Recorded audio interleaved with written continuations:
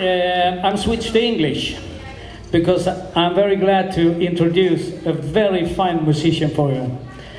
Uh, it's Brian Locking, and I hope he will enter the stage and play with us.